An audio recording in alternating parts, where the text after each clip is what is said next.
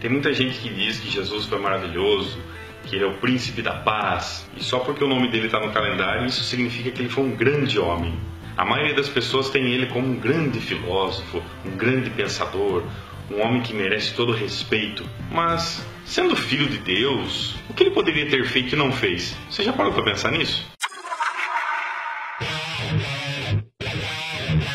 Eu enumerei 10 coisas que Jesus poderia ter feito, mas ele não fez. Jesus poderia ter ensinado métodos para prevenir doenças. Ele poderia ensinar astronomia, como funcionam os astros, como funciona todo o universo. Sendo filho de Deus, ele poderia ter ensinado física, como funciona a realidade física, os objetos, as leis, mas não fez. Newton teve que correr atrás disso. Jesus poderia ter ensinado ciência, Todas as ciências que nós conhecemos hoje, Jesus poderia ter falado sobre agronomia, qual a melhor maneira de plantar, as épocas certas de colher, como não deixar os bichos comerem as plantas, qual a melhor maneira de se ter bons frutos. Ele poderia ter deixado um legado enorme de conhecimento, de todas as áreas. Mas, sendo filho de Deus, conhecedor de todas as coisas, ele poderia simplesmente ensinar como nós construímos uma indústria 100% limpa ele poderia ter ensinado sobre robótica, sobre a mecânica. Olha quanto conhecimento nós temos hoje e que ele poderia ter antecipado isso. E o corpo humano? Nós não precisaríamos passar por todo esse sofrimento se tivéssemos conhecimento do corpo humano. Ele poderia ter dado uma aula de como funciona o cérebro, como funcionam os músculos, deixado um legado de conhecimento, de textos. Nossa, são tantas coisas que ele poderia ter feito, né? Tantas coisas que ele poderia ter deixado escrito.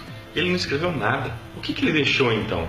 Já que ele não ensinou nada disso, o que, que ele fez então? O que, que ele deixou? Olha só que legal. Sendo filho de Deus, o filho do Todo-Poderoso, templos que cobram 10% do seu salário, milhares e milhares de seitas, todas falando em seu nome, cada uma com uma doutrina diferente, cada uma uma mais louca que a outra, com coisas bizarras, com coisas sem nexo, mas ele deixou isso, esse é o legado dele.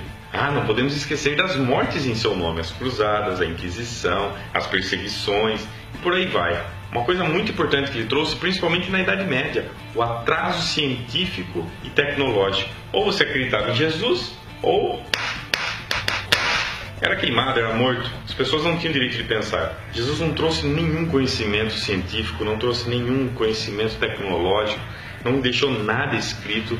A única coisa que ele deixou de legal é uma geração de pessoas com preconceito, uma geração de pessoas que negam a realidade, pessoas que aceitam a sua condição miserável na esperança de um mundo melhor, principalmente pessoas dando seu dinheiro em função de nada.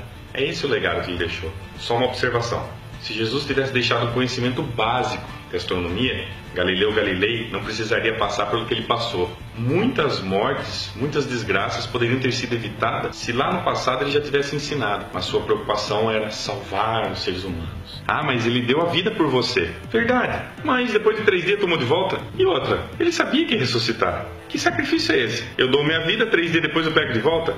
O que Jesus trouxe de benéfico para a nossa sociedade? Que avanço tecnológico nós temos graças ao seu conhecimento?